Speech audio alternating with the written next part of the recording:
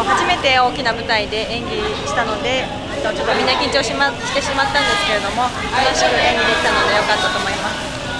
でなんか今まで練習してきた成果がみんならしってすごいいい踊りができたと思います。今までで一番みんなで楽しく踊れたと思います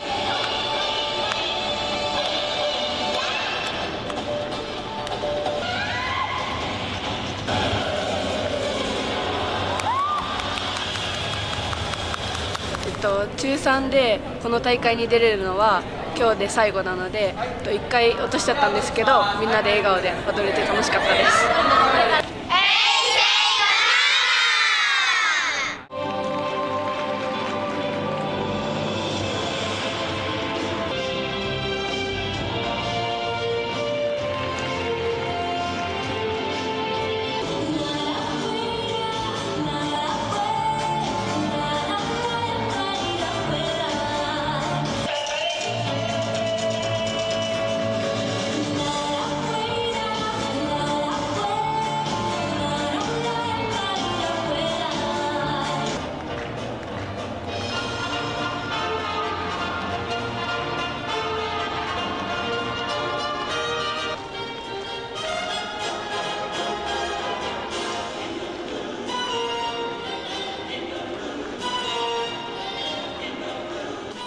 初めて出場する選手もすごく多いんですね。そしてみんなが興奮している様子そして演技をし終わって、えー、満足している様子それを温かく見守る家族や、えー、お友達そういう温かさがこの大会の、えー、大事な、え心だと思います。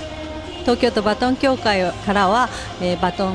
が、えオリンピックの開会式やいろいろなところでイベントで、え採用されてみんなに触れられてバトンっていいなって思ってもらえるようなことを、えこれから目指していきたいと思います。よろしくお願いします。